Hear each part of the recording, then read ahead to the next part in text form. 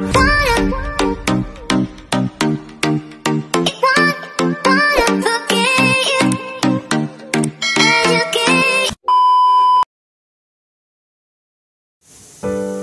guys, good morning. Ngayon naman ay magluluto tayo ng kaldaretang kambing. Ito, pinaprepare ko yung mga rekado. Ito guys, naghihiwa-hiwa ako ng para sa aking kaldaretang kambing. Lagyan ko siya ng siling pula and then uh, potato carrot, syempre. At lalagyan natin ng medyo maanghang na siling green. Ito guys. Hintayin lang natin ang masarap kong kaldaretang kambing.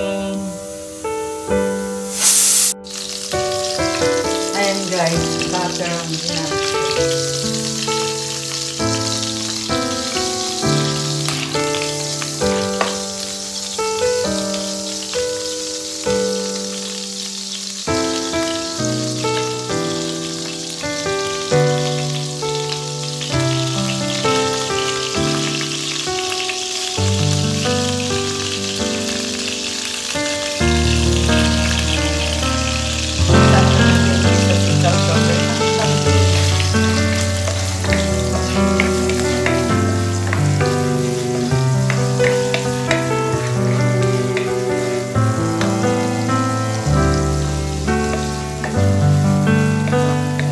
Guys, butter ang ginamit ko para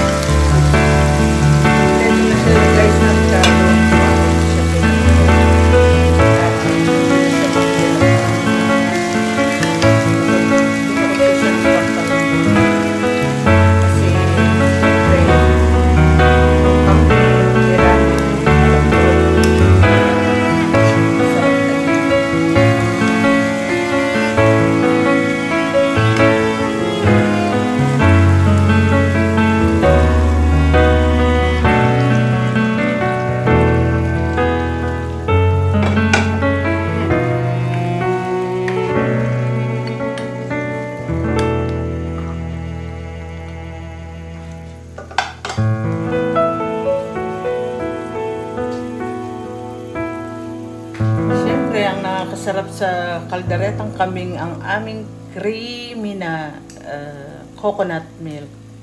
Yan guys. Bubuhos ko na si coconut milk para habang kumukulo si kaldereta, lumalasa yung coconut milk sa karne ng kambing.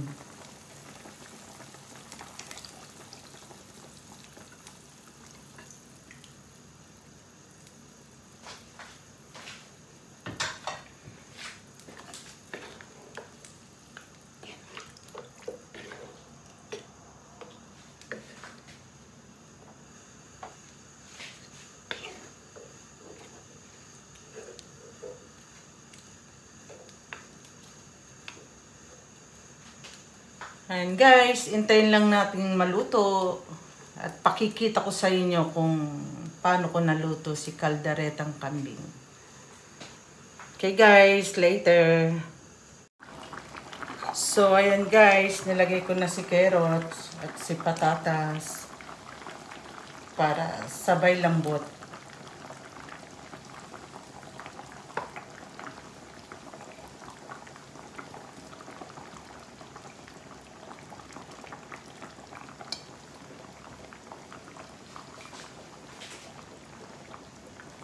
So, mamaya na si siling pula and then si siling green. Mamaya ko na siya lalagay sa last pagka malambot na tong si patatas at si carrot. Ayan na guys. So, pa, guys, pasensya na sa boses ko. Kagigising ko lang ha. Ayan guys. So, talagang ganyan na talaga boses ko. Ayan guys, intayin na lang natin siyang lumambot.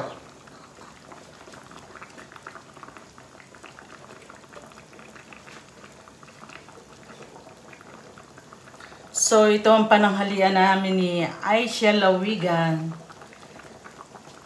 Kaya, ayan. Mamaya, ito ang lalapangin namin, guys.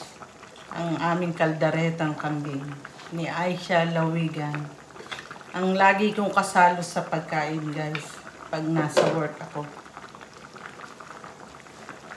So, hintayin na lang natin guys na maluto at pakikita ko sa inyo kung paano ko naluto ang kaldaretang kambing.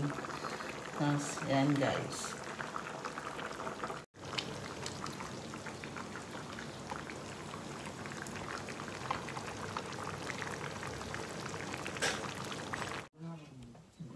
So, ayan na guys. Naka-prepare na ang aking pambaon ang aming lunch ni Aisha Lawigan. Ayan guys, ayan.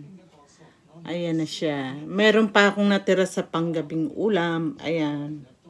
And then ito ang aming pambao ni Aisha Lawigan. And then, syempre sinamahan ko na rin siya ng manga. Mango na masarap. Ang aming dessert dessert na mango na sweet mango. Ayan guys. So, salamat sa panunod.